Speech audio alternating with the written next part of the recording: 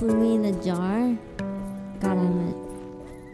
This means I have to die, like, dying first. Then you can put me in a jar.